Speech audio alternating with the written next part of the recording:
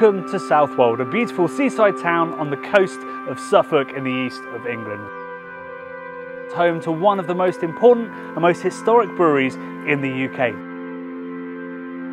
But they're not just that, they're also incredibly innovative, one of the most sustainable, one of the most exciting, and indeed a brewery that is forging a future for cask ale here in the UK. We're going to be talking about the future of hops, the future of cask, the local malts that they use, and the incredible sustainability programs they have in place. This is Adnams, and we are in Adnams country.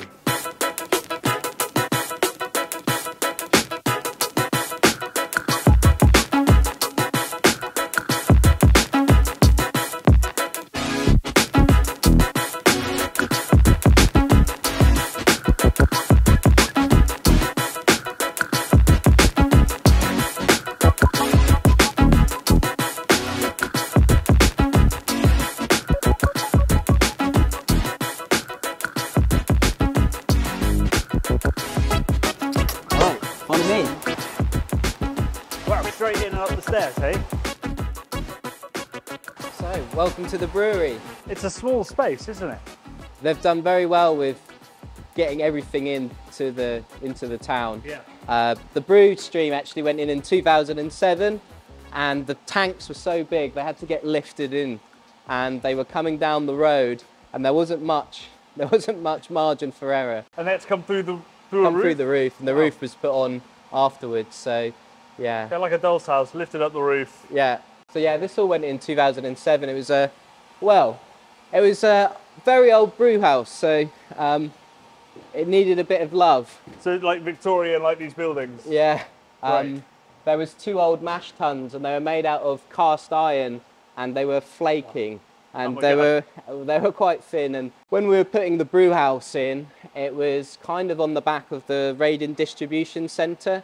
So sustainability was really in the mind of the senior management. So And- you won awards for that distribution centre, right? Yeah, and it's still very relevant today. So yeah, amazing. I really. read on Wikipedia it's the biggest living roof in the UK.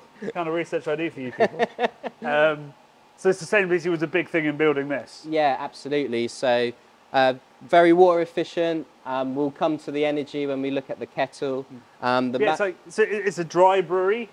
So you, sh- no drains, no. yeah, yeah. Usually when you, you, you need special boots and you're Yeah. wading around here, it's everything is completely contained within the vessels. Yeah, and um, part of the water savings are we use rinse water to push the brew to the next vessel, but that water, uh, rather than going to drain, it becomes part of the brew, so you don't Right. waste any water. So Amazing. yeah, Yeah. yeah. And and how much beer?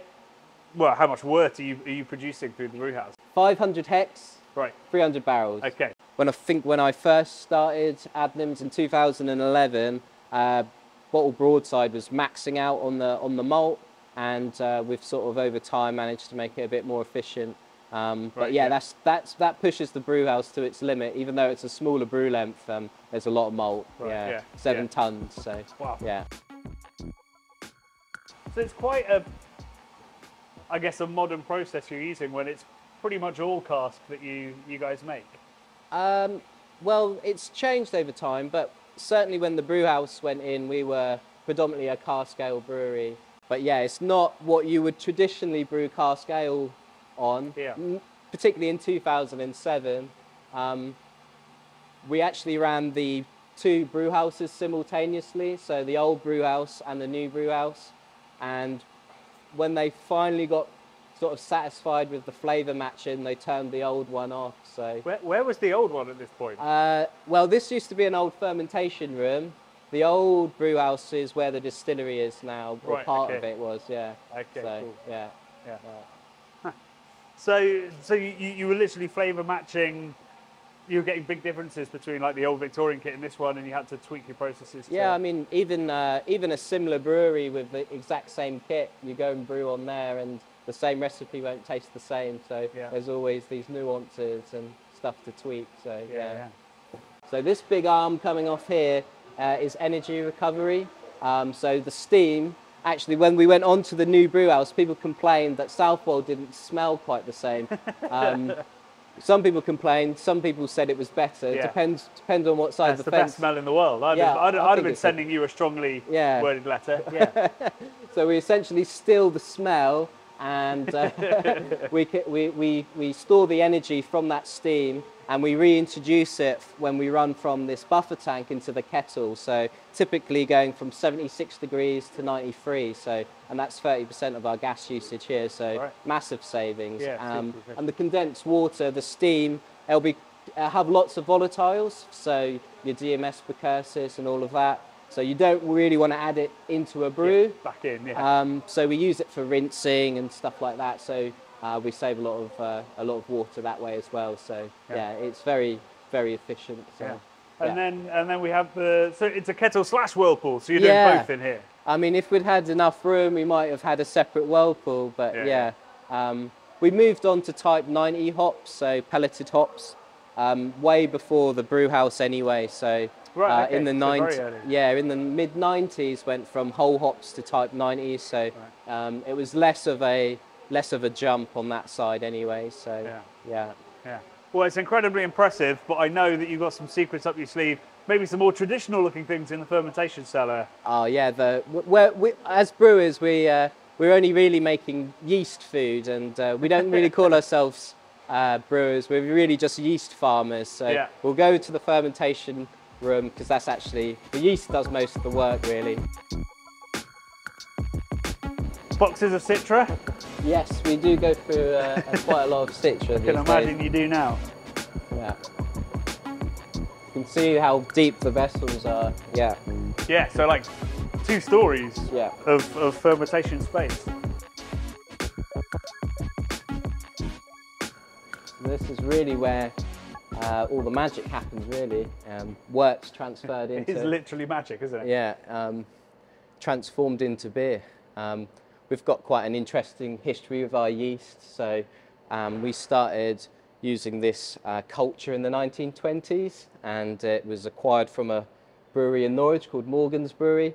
I suspect it's a Whitbread B strain originally, um, but the brewery got bombed in the Second World War, so Morgan's or Morgan's, Morgan's. did, yeah. So um, we used to sort of occasionally go back to collect more yeast from there. So after that point, we were sort of left to, um, you know, look after this this culture, and it would have evolved over the time to sort of our brewery. So it's very much our house yeast now. Um, we have it stored in a yeast bank in uh, at BRI in case you're bombed. Or, in case we're yeah, bombed. Yeah. And uh, we have it sent like twice a year to us, and we make slopes and, and culture from that. And uh, yeah, but it, we our yeast is kind of like family to us. It you know, it's uh, you just can't. An employee you don't pay very well. Yeah. Yeah. well, it, it has plenty of sugar. Right, yeah. You, yeah, it's got gnarly old teeth though. So what, what what's special about this yeast? Because it, it, it's more than one strain, right? it's mixed culture. Yeah. Yeah. Yeah, because you said culture at the start, which Yeah. is uh, right. Okay. Yeah. So what what do we know about those cultures? What are they kind of sorry those strains? What are they bringing? Um, so uh, our, our yeast is very versatile.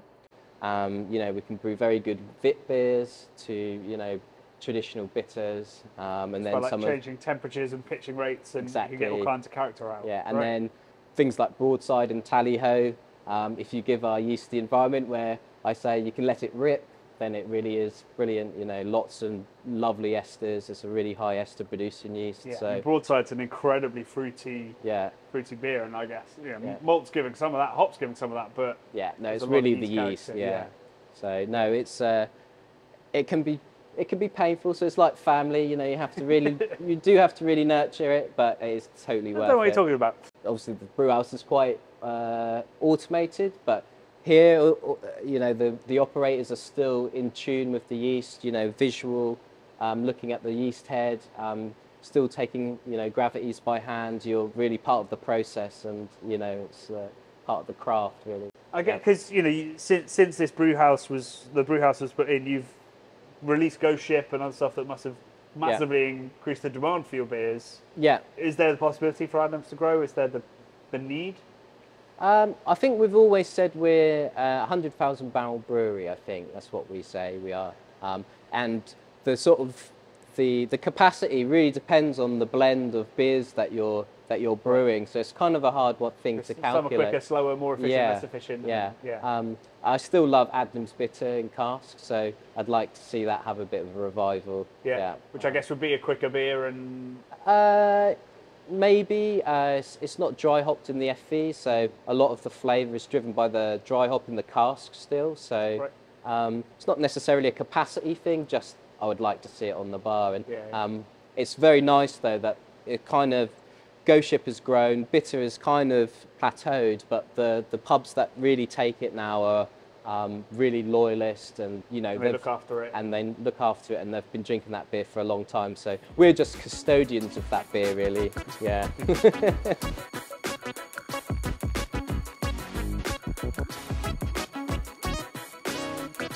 So I'm led to believe this street isn't the beautiful little fisherman's cottage street. It well it like. is still beautiful Sorry, it is still beautiful. Yeah, yeah. it's just that this side is not fishermen's cottages anymore so yeah in the 1980s uh, as cask ale started to make a bit of a resurgence um, we had to upgrade our racking so it used to be in the cellar as most breweries were gravity fed back in the day Yep. um, but we needed a new place for the racking line so all the fishing cottages were stripped out behind them uh, the Wow, front's just like left. knocked all through. yeah and now as you can see there's part of the racking line here Oh wow. so That is the racking line just in there with cars going by. Yeah. So we talk about sustainability as a brewery, but it also means, you know, for us, um, you know, looking after our neighbours as well. So, um, as you can see, the, all the breweries well disguised, um, Yeah. and just trying to make sure that we, you know, we, we sort of live in harmony with, you know, our next door neighbours. It's remarkable. I guess you, the brewery must have had a huge impact on the town, but it's not a, a physical impact, is it? It's No. it's really well hidden. Yeah. You could you could go on holiday here and not realise there's a brewery right Yeah. in the centre of town until you tried to post something through this letterbox. Yeah, I'd say the uh, the paper delivery. Um, yeah, we had a lot of leaflets, so yeah. Just a sealed off door. Yeah, you're just standing there doing the racking and there's just two for one pizzas come through the door. maybe, maybe that's a good thing. I don't know. yeah. Have a little pee.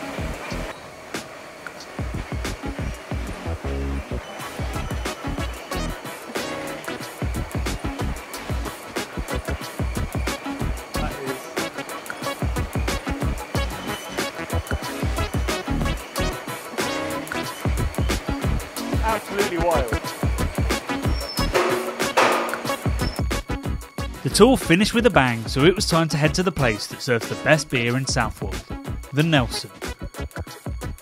Not only were we greeted by a view of the sea and some frothy pints, but also Adnams brewmaster Fergus, who gave us a fascinating history of the brewery, as well as a lesson in what brewing is really about. Fergus, thank you so much for having us. It, I've been to Southwold so many times and never toured the brewery, so that's Really. very exciting. That's very rude. But it's I, I apologise. But it's also very exciting to chat to the creator of many of my favourite beers. Excellent. Um, but I think we should start by going through the history of Adnams because I'm not sure everyone belie- uh, believes, maybe they won't believe, but understands how far back it, it goes. All right, so quick history. Uh, so the earliest record we have of brewing in Southwold is from 1345. Uh, so someone called Joanna de Corby uh, was being prosecuted for breaking the Assize of Ale, uh, which would basically mean she was probably diluting the beer. Um, so it's not the most uh, prestigious record of brewing, but that's our earliest record. A tradition that's carried on to this day. we do add water to some beer. Um, but so then the sort of the Southwold, the Solbay Brewery, uh, which eventually also becomes Adnams, but the Solbay Brewery, it- we've got records on, on the current site to 1660. Um, it went through a series of hands uh, until it was sort of bought by the Adnams brothers in 1872. So George and Ernest Adnams arrived in Southwold. They sort of came from a brewing background. Uh, so their uncle owned a brewery in Reading, and Ad, the first Adnams brewery was in was in Reading and Newbury actually. Right. Um, so they, they they sort of were farmers, and then they came up here, bought this brewery, funded a little bit by uh, by their uncle. Uh, but then George got tired of life in Southwold, and then emigrated to South Africa and got, Got eaten by, eaten- by a crocodile. Although it's not true at all. Oh. Thank you very much. not true at all, not even Well, a little bit. it might be true a little bit, and but we have bought a giant blue crocodile for the tour centre. Yeah, we- so, we met him. So it What is entirely true now. Entirely true. Right. He did die in the Zambezi River, I've been told. Yes, that's right. And he may have got eaten by a crocodile. I don't know that it, it was the cause of the death, really. So the, the family line went down to the other brothers' yes, yes. progeny. That's the important point. Yeah, Yeah, yeah, yeah, yeah. yeah. Yeah, that's right. So that's a very quick brewing history of, uh, of Southwold. So where do you come into the history of Adnam? And much later on. Right, okay. I wasn't accusatory, sorry. Uh, so I joined in 2004. Uh, so I'd, I'd done a bit of brewing at Fuller's, uh, was there for about seven years, and then moved up to, to Adnams. Um, really exciting time for the brewery. So we, we had you know, really old Victorian kits. So we had old Victorian mash tuns, which were made of cast iron and were chipping away, and you'd see little bits of cast iron floating in the mash tun, which is not really ideal. Uh, and we had two old copper kettles, which were sort of falling to bits. Really, they had the thinness of the copper was sort of non-existent in some places, which is not great for a vessel you're boiling something in. Yeah, you want no no holes. No, you, you want a small number of holes. Right, You sorry, want, yeah, but you want to- to know where they are. Correct holes. Yeah. You want the holes in the right places where you put the things in. That's that- generally ruled for life. It was literally uh, just worn away over time. Yeah, yeah. So copper dissolves over Yeah, time. Uh, so actually, the, it was really being held together by the sort of wooden cladding on the outside. Um, so decision was made way before I joined that they needed to reinvest, which was actually quite a big deal. So lots of old regional breweries were actually divesting away from brewing. They were putting all the money into pubs. Uh, letting the brewery run down. So actually, to invest back in was phenomenal. That was a, that was really stepping outside where all all the other traditional breweries at the time were really going. Uh, Jonathan Adnams really drove it, I guess. Um, really, and he was he's always been really keen that we make stuff, and I think that that's fundamentally what Adnams has tried to do over the last sort of 10, 15 years, make sure we're ready to make stuff for the next 20, 30, 40 years, whatever. And you- were running both kits at the same time for a bit while We you did. bedded in like, like any sensible brewery, you never tell people when you've changed Right. until, until well after you've actually changed. so we ran we ran both breweries together for about six months, I guess. Um, so we had a big sort of snake of, of pipes through the of sort of hoses through the brewery, connecting one bit to another one.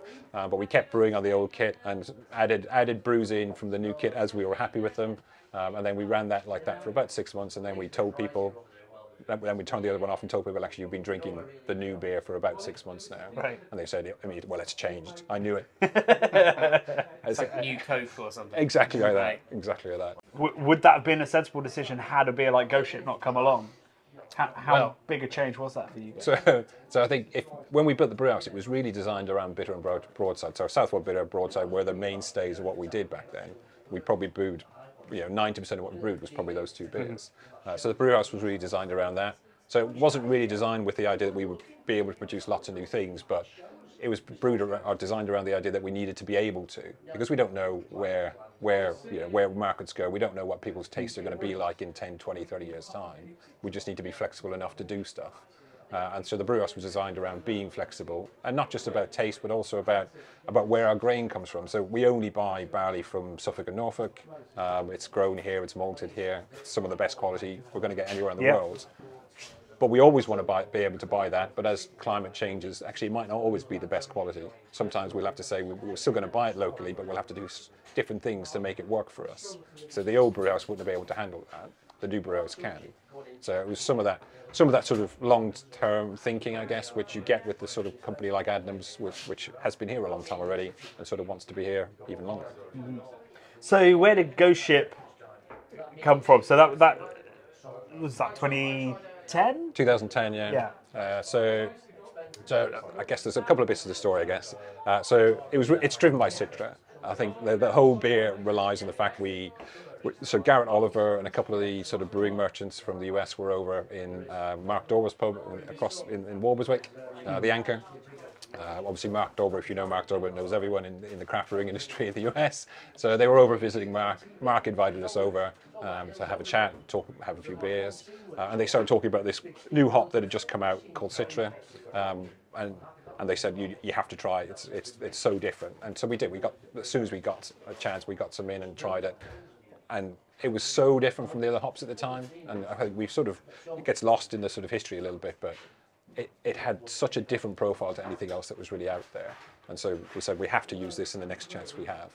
Uh, and so the next chance we had was really around developing a sort of Halloween beer, which you know we, we didn't have a Halloween beer. We thought and it was, it was just a suggestion that we should we should have a Halloween beer, have a seasonal beer for that period of time. Um, and it just so happened one of the other pubs in Southwold, the Red Lion, had this old um, cabinet of old Adnams beers, um, and one of the beers in there was called Deathly Pale Ale. Uh, sort of skull and crossbones, pale beige label. Um, yeah, you thought, what, what is that? So the history of that beer was it was a beer brewed in 1975 um, to celebrate the bicentenary of something because there is no bicentenary. Uh, it was about it was about it was a few years late. It was about three years late. But anyway, um, but the history of the beer was they designed the beer. It was a sort of high pale ale, sort of seven eight percent pale ale, uh, but it was brewed to celebrate this non-existent bicentenary. Um, but then um, I think everyone had sort of designed, seen this label with a skull and crossbones on it.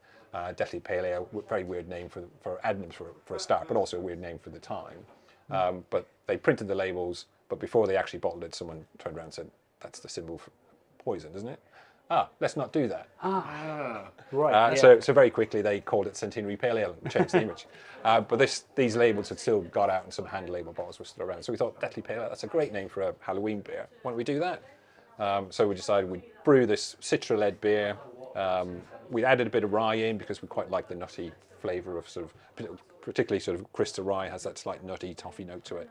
And we thought we'd just add a bit more balance to the beer. Uh, but it was really all driven by citra.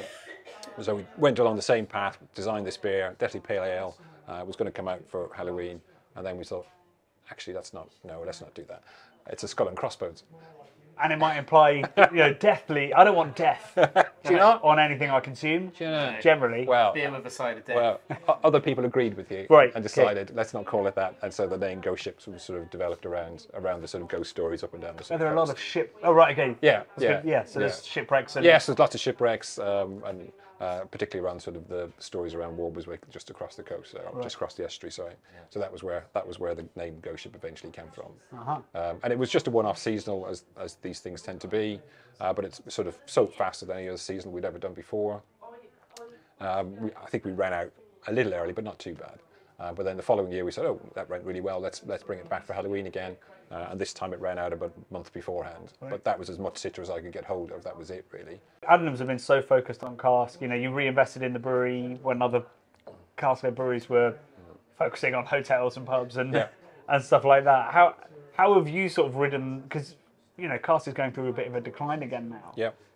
What's that look like to to Adnams? Have you continued to grow? Have you continued to reinvest? Have you been successful through that? Uh, so I guess uh, we, we've seen the same decline on cask. I think that that's probably universal across most breweries, I guess now. Uh, but we then haven't been primarily a cask brewery up until I guess 2016, 17. We actually rein, uh, invested again in building the second half of a brewery, the sort of conditioning, the filtration, the kegging side. So we did that um, to try and again to give us a bit more flexibility in, in where markets go because again, what we're trying to do is make sure that we are here for the long term. So taking that, I don't know, a bit, bit cliche now, but that sustainability in the sort of broader sense. It's not just about environmental; it's also about actually this business being here and contributing for a long Yeah, time. jobs and Yeah, and all that stuff. So actually, yeah. being able to produce some keg beer on site is not. It doesn't take away from the cask; it just adds to it. Um, but cask is still very much central to what we do. I think that's what most people will know us for, I guess. Um, so, uh, but it is going through a challenging time um, for lots of reasons. We won't talk about pandemics or the rest of it, but lots, lots of reasons that have broken people's habits. Um, but I think one of the things we we're really keen on is that is that the pub is central to this, and beer is central to that. Um, so we want people back in pubs. We want people drinking beer at, at its best, and I think that's where we all have to work a bit harder to make sure it's always being served at its best. Um, I would love to try some broadside and Yep, some bitter brilliant. because we've talked about Ghost Ship. It's one of my favourite modern kind of cask ales. But I grew up drinking broadside. Did you? Yeah, when I worked in a pub, I think it was a Greene King pub. Yeah. So it must have been a guest line or something. Good God. I used to drink, used to drink Yeah. a lot of broadside. So I want to get back on that wagon. Yeah. Let's get some broadside. So we have broadside in front of us, Yes. which I gather we're, we're a bit late. This celebrated its 50th, birthday last year. Yeah. So it's an interesting beer because A, it's different in cask and in bottle. It's quite different. Yeah. and B, it's not. I mean, I get, it's not really an ESB. Is it a, a No. strong ale? What? No, we've never really brewed things to style. If we're honest. Right. Okay. We brew things and go, what style was that? Oh yeah, it's close to that. We'll do that. Uh, so, so Broadside was originally brewed to celebrate the tricentenary of the Battle of Solbay, which you'll you'll have, you'll have learnt about, I'm sure. What in school or? Yeah. Right. Uh, I, I don't. I don't remember that one. 1672. Okay. A couple of Dutch Uh, Some Dutch lads turned up Some Dutch lads turned up in some boats, big boats, uh, and some English lads went, going, oi, Or were oi. they, were they sent packing by the Nor- Norfolk and Suffolk? Well, it was. I think the story was they were all, the sailors were all in the pubs around Southwold. Had to go and haul, haul, haul aft, I think, onto the ships. oh, half cut. Uh, half cut, as they normally were. I think it was. A, it wasn't nothing unusual. No. Uh, and then uh, they had a bit of a had a bit of a word, um, and then they decided it was a draw. I think was really was Right, it. okay. Yeah. So the bottle version came out in 1972, and it was to celebrate this tricentenary of the Battle of Solbay. Um, strong dark ale. I think it might have been slightly lighter than this, but strong dark ale. Um, and again, it was sort of brewed as a one-off celebration, but it became this really popular sort of local bottled beer. So they kept doing it. I think originally it did start in, in cask, but uh, a 6.3%, um, which is what the bottle is, um, version of, of this, wasn't going to sell a huge amount in cask. No. So come the sort of mid 80s, they decided they needed another cask beer. Um, so they reformulated Broadside to be this 4.7% beer, similar flavors, fruitcake, all the rest of it, uh, but obviously a very different recipe to the 6.3% version. Yeah. Um, but so they wanted this to be a bit more quaffable, uh, but still have that have that sort of sort of depth of flavour to it. It- It's even at 4.7, and it's definitely there in the bottle. It has what I think is a slight, and as uh, Malt Miller found out in their video with you, a slight Belgian Yeah, kind of character to it. It has just that little hint of like a Belgian double to yeah, good. A, a little lovely phenolic Yeah, fruitiness. and it's something we've only really started calling. So we've always said it's it has a slight Belgian-y flavour to it, but that that phenolic note I think is something we've only started really calling out in the last few years. Right. And that is what gives Adnams most of its character, I think. I think yeah, we've got you can you can you can do lots of things around malt and hops, but and water, but actually the thing that drives Adnams' flavour and the house character is that Adnams yeast. Um, and I think that comes through comes through differently in different beers, and it depends on if we encourage it to show a little bit or not. Yep. Um, so we try and play with temp, like everyone does. We play with temperatures and uh, and times and everything else about whether we want that character to show through. Um, It, it's interesting because on the tour, Dan described your yeast as, as very versatile, and the home brewer, me, and probably the, the drinkers out there mostly thought, oh, well, that means you know it can it can go to strong temp, uh, strong go to high temperatures, go to strong strengths. You know, works in a table beer or in an imperial stout. But what he actually meant was. It's no, like it can really create a difficult. Belgian character, or yeah, that, or in Ghost Ship it can play, you know, quite a quiet part Yeah. and let the citrus sing, Yeah. while still adding almost a kind of rose watery, Yeah. subtle kind of thing underneath. So it's just, you know, it works across so many different styles and creates different flavors. yeah, it doesn't always have to be the star of the show. It can play a more subtle role. Yeah. But there are some beers where we, we know even the subtle role is too much, so we, we, we swap in some other yeast. But Right. but 99% of what we brew is probably is probably with Adnams yeast because we do like we like that sense of place as much as anything. Yeah. We don't we don't like we don't like well, we don't want to be able to brew the same beer here as, as in 20 other places around the world. We want to be able to say this beer is brewed here and, and really only here. Yeah. Um, we like that, and, and same for the water profile. We don't try and mess around with our water too much because actually we don't we don't want to strip it down to reverse osmosis and then take it back up again because we want we want the local the local sort of environment to have a say in what, what things taste like. Which is where the point difference kind of, particularly in cask ale, I think, where we're all using English malts, English Yeah. hops. You know, your yeast and your local water are a way of going. This is Yeah, absolutely. this is us. Um, and with everybody using very modern equipment as well, I guess that's Yeah, I thi- the process. I think the danger is everyone ends up producing exactly the same thing, Yeah. and, then, and then you're only fighting over who's got the biggest marketing budget to spend. Do, do you think that um, having a brewery founded such a long time ago You know, makes you think about time in a different way to a lot of modern breweries where they're maybe a bit short-sighted? Like everything you're telling me is all about the future, planning Yeah. for the future, and making sure you're going to be here in another hundred years. I d but generally that's what people think here. Um, so when I first joined, a long, long time ago, uh, people said people only come here to retire because people stay for the duration. They don't, they don't move on. They stay. Uh, stay for the duration is a, is a tag phrase for another brewery. it is, yeah, not too far away. not yeah. too far away. But but generally that's what people are trying to do. So everything we do is really about making sure it is here for the long term. And that is part that is partly that heritage already that we you know, we, we do want to continue that on. But most people here are, are custodians of the brewery. They're not. It's not our brewery. The, these beers aren't our beers. They're they're they're the people who drink them. Um, even Ghost Ship isn't really our beer anymore. It's, it belongs to the people who drink Ghost Ship. Um, at some point, that that that moves away from being your beer to someone else's. So our, our, certainly jo- our will in job is 50 to years' time. There's going to be somebody yeah, looking back and going, yeah, this isn't our beer. We, yeah, we're a custodian after Fergus and his team. exactly that. So our, our job is to make sure that they get that beer Yeah. the way they expect to get it. And then if you want, and so obviously trends change and tastes change, but but uh, there's a very recent example in the US where they've changed the recipe of a very old beer, well, relatively, yeah, in relative terms, old beer. But I think that for me, I, and I understand, I totally understand the reasons they've done it, but it, that that is taking that beer away from the people who, who own it, really, and it's not the brewery that owns it; it's the people who drink it There are plenty of breweries out there making special beer, but few that are special themselves, and Adnams is one of them. Historic but innovative, ambitious but sustainable, and wholly committed to British brewing's longevity. Finding a word for how we felt after falling completely in love with Adnams and Southwold is tricky, but as usual, Brad's got one to try out. Johnny, I'm, I'm absolutely flabbergasted. We've come to a place I expected to be just sort of heaped in tradition and and kind of maybe a little bit fusty, a little bit dusty. But they're, if anything, they're one of the most innovative breweries I've been to in recent memory. Yeah. They're not, I mean, it's such a historic place, but they're so forward thinking. It is like you look at the exterior of the brewery and you're like, this is this Yeah. is traditional, this is old school, this is history, and then you step through through like a, a fake row of cottages and suddenly you're in this incredibly modern brew house with a very modern outlook. Yeah, I feel like they, you know, in this in this beautiful town of Southwold, they have they they they don't sit heavy. They're kind of like a light entity within the town. They're they're quite respect well, very respectful of their place, and I think you can tell they love where they're from, and that you can taste that in the beer. You can see that in their sort of philosophy of everything they do, from the top down. You know, from their warehouse with the biggest green roof in the country that they did, you know, why, why did they do that? They didn't have to do that.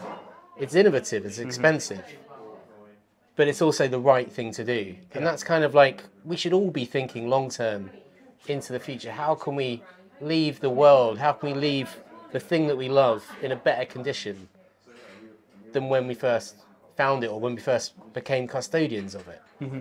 And it's, you know, it's a beautiful thing. And that, that sense of place that you talked about is also incredibly important. So they, you know, they're they're definitely a part of this community and are driving it forward as well. You know, this should be a very seasonal town, but I think Adnams are part of the reason why Southwold thrives all year round. But also, that sense of place is important from the fact, you know, they're right by the grain. They use their own water because that creates its own unique flavours in their beer. They use their own yeast because that creates its own sense of place.